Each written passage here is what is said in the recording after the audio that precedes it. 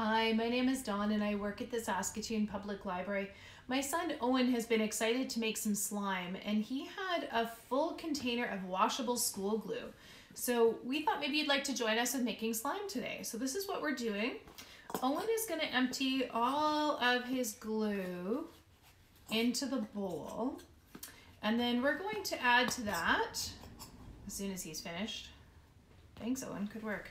Um, a half a teaspoon of baking soda. So how about if I do that and you stir? Can you grab the spoon and you can stir? And he's gonna stir it up after I add that really, really well. Go ahead, Owen, give it a stir. And you're gonna mix it really, really well at this point.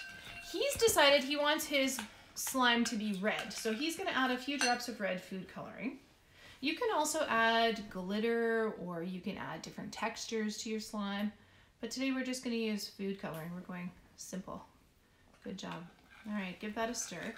And then we're going to add some contact lens solution. It doesn't matter what type.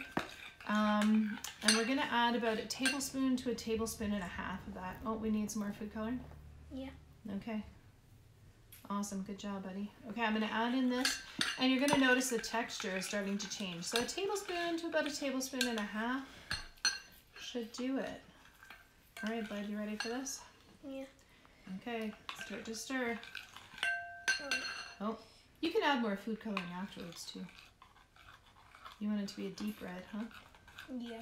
Yeah, all right. Okay, just keep stirring. And you notice it changes consistency quite a bit. Oh, it's getting really nice and slimy. Keep stirring.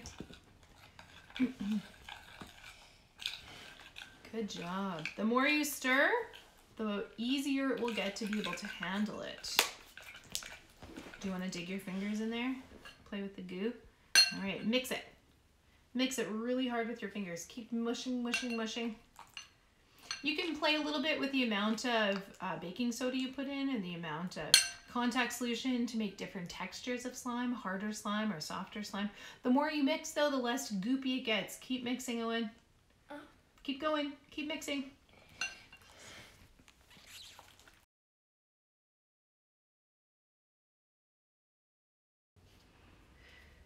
Thanks for watching our video today. Please share um, all the cool and creative things that you add to your slime to make it original to you.